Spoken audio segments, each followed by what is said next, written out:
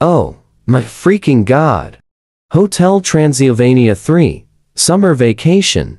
What on earth is wrong with you? How dare you use the kids cheering sound effect in your video? You know, the kids cheering sound effect is bad for people's healths. I agreed with Ash. The sound effect makes the babies, toddlers, and Hoshiko members on YouTube cry. And you need to use Hollywood Edge small group kids cheer. But no, you use sound ideas, children, crowd, small studio audience of children, big cheer, cheering 01. Now this proves you're a Jeff Mara wannabe and a Squirrel Stampede wannabe. End of call out.